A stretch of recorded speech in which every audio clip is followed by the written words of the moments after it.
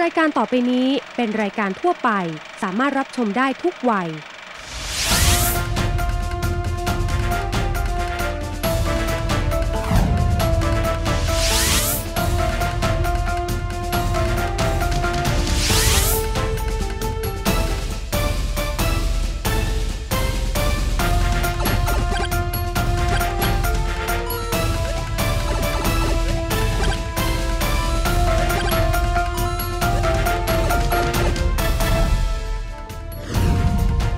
สนับสนุนโดย บริษัทไทยเบเวอเรจจำกัดมหาชนซีอาเซียน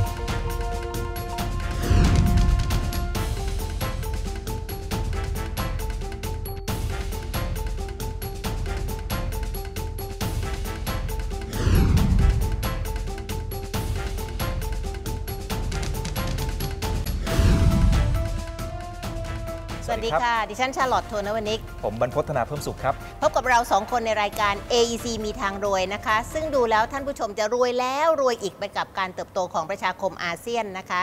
แน่นอนนะคะ วันนี้คุณบรรพตก็มาช่วยกันคุยกันนะครัคะบเพื่อที่เราจะดูว่าเรื่องของการเงินเพราะคุณบรรพตเนี่ยจะค่อนข้างชำนาญเกี่ยวกับเรื่องของการเงินนะคะว่า ในการที่มีประชาคมอาเซียนเนี่ยก็จะมีเรื่องของการเคลื่อนย้ายแรงงานถูกไหมซึ่งความจริงเนี่ย ก่อนหน้าที่จะมีมันก็เคลื่อนย้ายกันอยู่แล้วล่ะใช่ถูกไหมครับคะแต่ว่าครั้งนี้เนี่ยมันจะมีการเคลื่อนย้ายแรงงานอย่างเสรีในบางอาชีพด้วยครับใช่ไหมคะ เราสังเกตได้ง่าย ๆเลยนะครับอย่างเวลาที่เราไปรับประทานอาหารที่ไหนเนี่ยค่ะแทบจะเป็น AEC อยู่แล้วนะครับใช่ไม่ว่าจะเป็นพนักงานหรือว่าค่ะแม้กระทั่งพ่อครัวแม่ครัวใช่เราจะคุ้นชินกันอยู่แล้วค่ะแต่ตัวเลขนี้มันกำลังจะเติบโตมากขึ้นเรื่อยๆครับค่ะ ทีนี้เนี่ยพอไปเรื่องของการเติบโตของแรงงานเนี่ย คนมาทำงานที่นี่ก็อยากที่จะส่งเงินกลับบ้าน ซึ่งในอดีตเลยนะ เมื่อคนจีนมาทำงานในประเทศไทยพอร่ำรวยขึ้นก็มีการส่งเงินกลับประเทศเหมือนกัน ก็เหมือนกับว่าเป็นการที่ส่งผ่านกันโดยที่มีคนอาจจะมีเครดิตหน่อยก็หิ้วไปหิ้วมาอะไรกันอย่างเงี้ยนะคะ แต่ในครับวันนี้เนี่ยค่ะอีก แรงงานในประเทศไทยเนี่ยตอนนี้มันมีสักประมาณเท่าไหร่อะเมียนมาก่อน ตอนเนี้ยเพราะว่ารู้สึกว่าเมียนมานี่น่าจะเป็นอันดับต้นๆเลยนะของแรงงานเบอร์หนึ่งเลยครับใช่ค่ะคือถ้าสมมุติว่ามองเฉพาะตัวเลขที่เป็นทางการจากรัฐบาลไทยเนี่ยเขาบอกค่ะว่ามีประมาณสัก 1 ล้านคนค่ะแต่นี่เป็นการสำรวจปี 2557 นะครับอ๋อค่ะ แต่ถ้าหากว่าไปถามการเอ่อประกาศในเรื่องของตัวรายงานค่ะขององค์การระหว่างประเทศค่ะนะครับที่เขามีการประกาศออกมาเนี่ยนะครับอ่าเขาบอกว่า ชาวเมียนมาที่เขามาทำงานในประเทศไทยเนี่ยค่ะมีประมาณ2ล้าน3แสนคนครับสองล้านสามแสนแล้วนะาตอนนี้ค่ะอันนี้เฉพาะที่ถูกกฎหมายนะครับค่ะยังไม่นับว่าบางคนที่อาจจะเข้ามาข้ามไปข้ามมาชายใช่แดนอะไรอย่างเงี้ยค่ะซึ่งตัวเลขอาจจะไปถึงประมาณ 3-4 ล้านคน แล้วก็ตัวเลขที่ถือว่าน่าสนใจก็คือค่ะว่าอย่างรายได้ของเขาเนี่ยนะครับค่ะที่มีการสำรวจโดยมหาวิทยาลัยมหิดลค่ะเขาบอกว่าค่าเฉลี่ยเนี่ยจริงๆ ใกล้เคียงกับคนไทย คือบางคนอาจจะสูงกว่านะฮะหรือว่าอาจจะต่ำกว่า แต่โดยค่ะเฉลี่ยประมาณคนละ 9,000 บาทต่อค่ะเดือน ก็คือเท่ากับว่าวันละ 300 บาท300บาทอยู่แล้วค่ะครับค่ะแต่ทีนี้พอคูณกับตัวเลขสมมติเอาตัวเลขที่เป็นทางการหน่อย คือประมาณค่ะสัก 2 ล้านคนเนี่ยนะครับค่ะที่อยู่ในเมืองไทย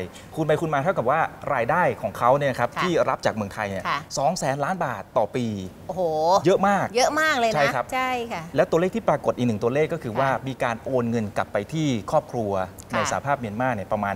60,000 ถึง 70,000 ล้านบาทต่อปีโโหเป็นตัวเลขที่ใหญ่มากเลยนะคะ พูดถึงว่าพี่เคยอยู่แบงก์มาเหมือนกันนะครับถ้าเผื่อว่ามันมีการผ่านธนาคารของไทยเนี่ยนะ ค่าธรรมเนียมในการโอนนี่ก็เยอะมากมายนะ นั่นก็เลยเป็นเหตุผลนะครับที่เราจะต้องมาศึกษากันนะครับค่ะว่ารูปแบบหรือว่าพฤติกรรมของการโอนเงินของเขานั้นเป็นอย่างไรข้อมูลจากองค์การระหว่างประเทศเพื่อการโยกย้ายถิ่นฐาน IOM ระบุว่า แรงงานชาวเมียนมาที่เข้ามาทำงานในไทย อยู่ในจังหวัดสมุทรสาครมากที่สุดประมาณ 150,000 คน รองลงมากรุงเทพเฉียด 90,000 คนครับ แต่พื้นที่ที่มีอัตราการเติบโตมากที่สุดคือจังหวัดตากเนื่องด้วยอำเภอแม่สอดจังหวัดตากถูกกำหนดให้เป็นที่ตั้งของเขตเศรษฐกิจพิเศษ ซึ่งมีนโยบายสำคัญ คือการนำเข้าแรงงานต่างชาติเข้ามาทำงานครับ เพื่อสร้างขีดความสามารถในการแข่งขันของอุตสาหกรรมที่ใช้แรงงานเข้มข้นทำให้แรงงานเมียนมาเป็นจิ๊กซอว์ที่สำคัญของธุรกิจในพื้นที่ติดชายแดนแห่งนี้ และข้อมูลจากวิทยาลัยการจัดการมหาวิทยาลัยมหิดลระบุว่าแรงงานเมียนมาส่วนใหญ่จะการเงิน 3 ใน 4 ของเงินเดือนส่งกลับประเทศ คิดเป็นเงินอย่างน้อยปีละ 60,000 ล้านบาทครับ ซึ่งก็มีแนวโน้มเติบโตมากขึ้นเรื่อยๆ ตามการขยายตัวของเศรษฐกิจ การโอนเงินเนี่ยก็เป็นเรื่องที่เราจะต้องมาดูกันแล้ว แล้วก็มีคนเห็นโอกาสด้วยใช่ไหมว่าจะทำยังไงที่จะทำให้มีการโอนเงินได้อย่างถูกต้องลดความเสี่ยง แล้วก็ขณะเดียวกันได้ค่าธรรมเนียมด้วยใช่ไหมคะใช่ครับะเดี๋ยวอีกจะพาท่านผู้ชมไปพบกับใครบ้างอะเดี๋ยวจะมี 2 มุมมองนะครับค่ะถ้าเป็นมุมมองของแรงงาน แล้วก็อ่าผู้ประกอบการค่ะ SME เนี่ยค่ะเดี๋ยวจะไปพูดคุย กับทางด้านของผู้จัดการค่ะธนาคารกรุงเทพสาขาแม่สอด ยังมีอีกหนึ่งเลเวลก็คือว่าคนไทยที่เป็นค่ะผู้ประกอบการไทยค่ะอยู่อำเภอแม่สอดนี่นะครับอ่าแต่เข้าไปทำธุรกิจที่สหภาพเมียนมาค่ะ30 ปีแล้วครับอืมเขามีวิธีคิดอย่างไร เรื่องของการบริหารความเสี่ยงอัตราแลกเปลี่ยนหรือการโอนเงินค่ะเป็นเรื่องที่น่าสนใจมากเลยครัค่ะบพบในช่วงหน้านะคะ กรมสุขภาพจิตกระทรวงสาธารณสุข จัดประชุมวิชาการสุขภาพจิตนานาชาติครั้งที่ 15 และประชุมวิชาการสุขภาพจิต และจิตเวชเด็กครั้งที่ 13 ชูแนวคิด สติ วิถีแห่งสุขภาพดี เน้นการฝึกสติ รู้ลมหายใจ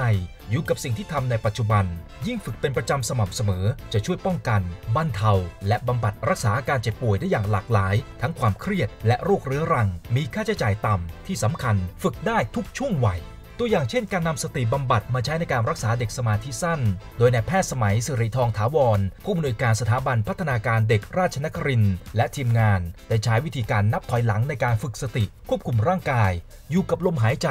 และการนับประกอบไปด้วย 10 กิจกรรมหลัก ซึ่งกิจกรรมเหล่านี้ได้ทดสอบกับเด็กสมาธิสั้น และกลุ่มเด็กทั่วไปอายุ 9-12 ปี พบว่าสามารถช่วยแก้ไขปัญหาอาการของโรคสมาธิสั้นได้ เด็กมีพฤติกรรมที่ดีขึ้น ดื้อน้อยลง รู้จักยับยั้งชั่งใจ สมองส่วนหน้าได้รับการพัฒนาขึ้น อีกทั้งยังช่วยลดความว้าวุ่นในใจลงได้อีกด้วย สัปดาห์หน้ามาติดตามกันต่อครับว่า การมีสติจะช่วยทำให้เรามีชีวิตที่ดีได้อย่างไรอีกบ้าง